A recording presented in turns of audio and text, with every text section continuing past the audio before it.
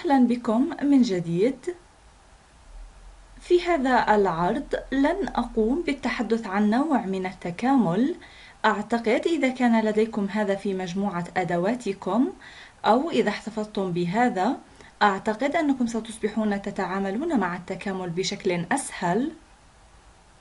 على أي حال دعوني أوضح لكم عن ماذا أتحدث. لذا دعوني فقط أذكركم ما هي قاعدة الضرب للاشتقاق. لنقل أن لدينا اقترانين.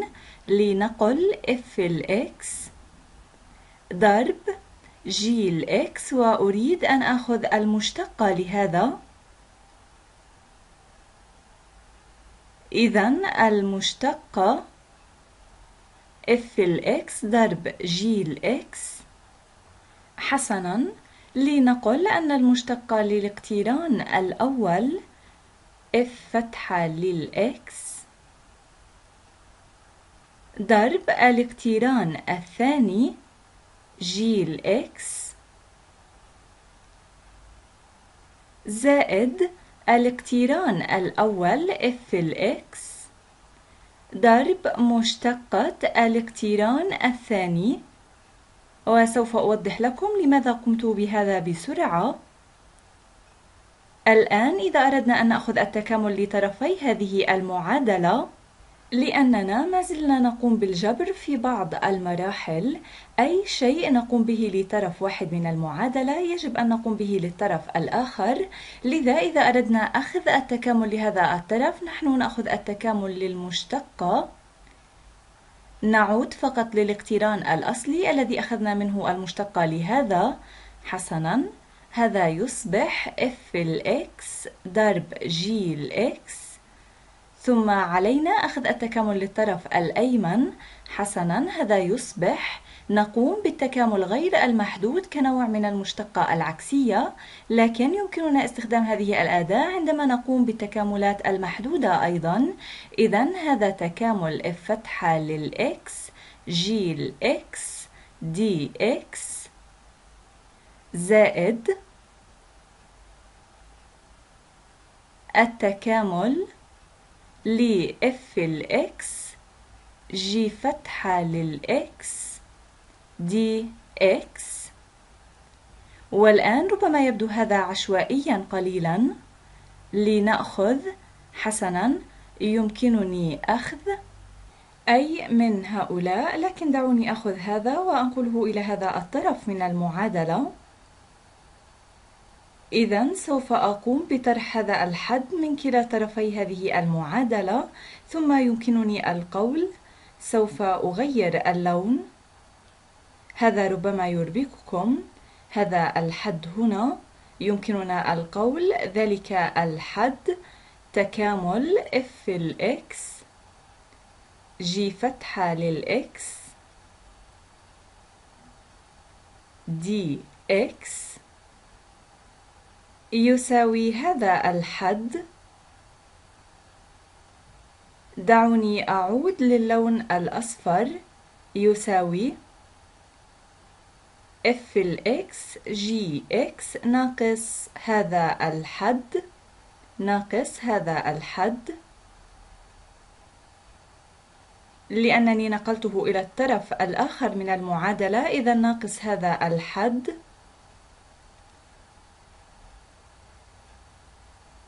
تكامل اف فتحة ل x ل x دي x إذا ما فعلته أنني فقط استخدمت قاعدة حاصل الضرب. هذا كل ما فعلته وربما سوف تستغربون. حسنا هذا يبدو جميل ورائع لكن ماذا أستفيد من هذا؟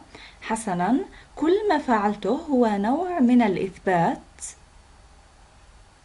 يمكنكم تسمية هذا بصيغة لكن لقد نسيتها لأني لم أقم بها من وقت طويل ومن ثم في الواقع أنا قمت بإعادة إثباتها لنفسي عن طريق تذكر قاعدة الضرب لكن هذا يسمى التكامل بالأجزاء وسوف أوضح لكم بماذا يفيد هذا.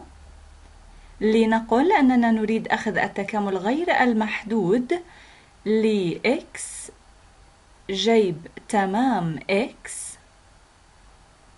إذا تكامل x جيب تمام x. Dx حسناً كل شيء لدينا في مجموعة أدوات التكامل حتى الآن.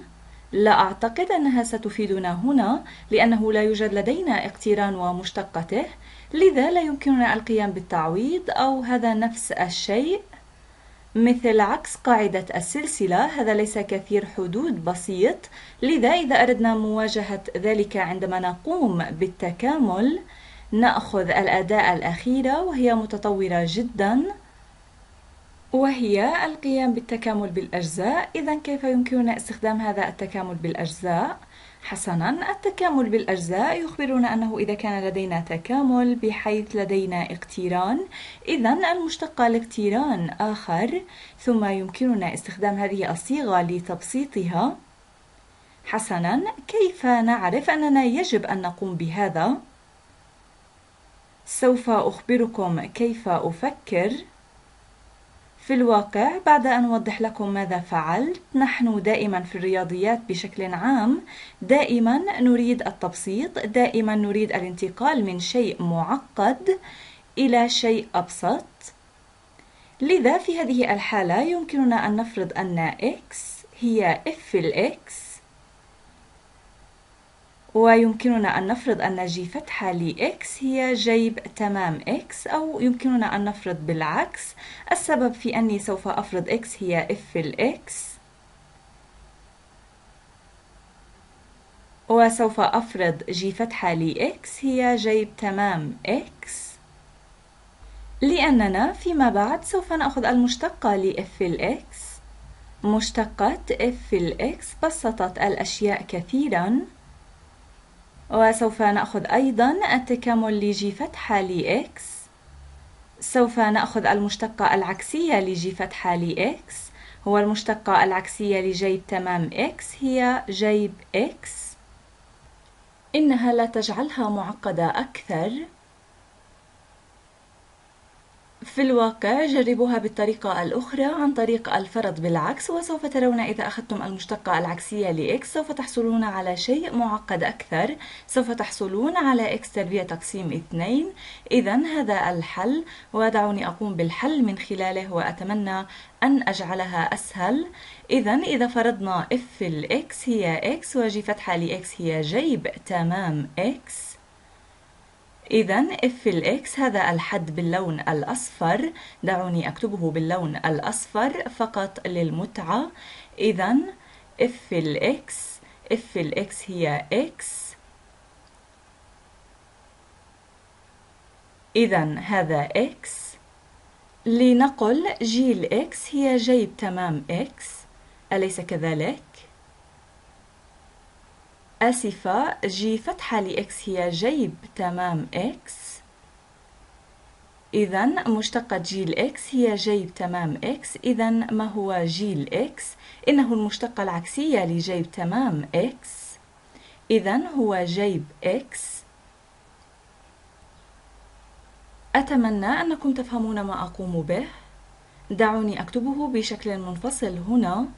في الواقع لم يتبقى مساحة فارغة لكنني سوف أكتبه في الزاوية هنا. أترون أنا أقول أن f الإكس هي x وأقول أن جيل x هي جيب x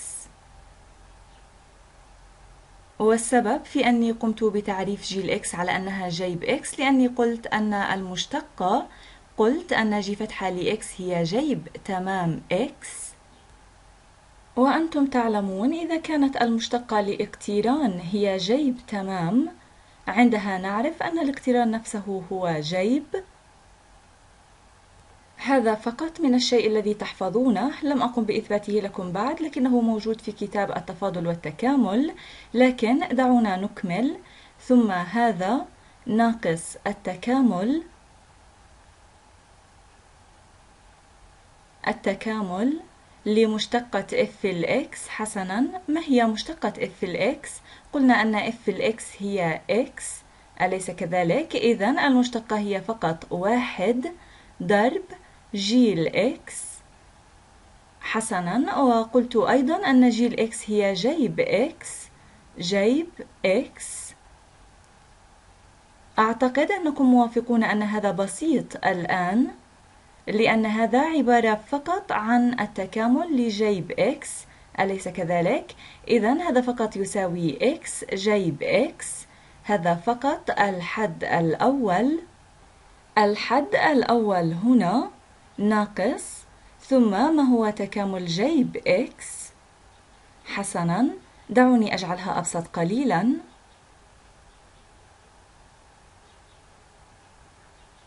حينها يمكننا جعل الإشارة السالبة هذه ل x وجعله موجبا. والآن إنها سهلة جدا. ما هي المشتقة العكسية لسالب جيب x يمكننا إهمال هذا الواحد. ما هي المشتقة العكسية لسالب جيب x حسنا. إنها فقط جيب تمام x ويجب ألا ننسى أبدا زائد c إذا نحن فقط استخدمنا قاعدة الضرب لاشتقاق هذه الصيغة للتكامل بالأجزاء وفي كثير من كتب التفاضل والتكامل يستخدمون u و v و du و dv هذا نفس الشيء أنا أحب هذا أكثر. لأنه أسهل بالنسبة لي أسهل بالنسبة لي للقراءة ويمكنني الاشتقاق في أي وقت فقط من قاعدة الضرب. لذا ليس بالضرورة أن أحفظ هذا ربما يمكنكم حفظه للامتحان لأنه أسرع بالنسبة لكم عندما تقدمون الامتحان. لكن عندما أقوم بالتفاضل والتكامل آه، لقد تعلمته منذ زمن طويل وأتذكر التكامل بالأجزاء. إنه فعليا مشتق من قاعدة الضرب وهذا يعيدني إلى الشكل. أنا لست بحاجة لأن أبحث عنه ويمكنني استخدامه. إذا هذه مقدمة للتكامل بالأجزاء. وفي العرض القادم سوف أحل مجموعة من الأمثلة باستخدام التكامل بالأجزاء لحل العديد من التكاملات. أراكم في العرض القادم.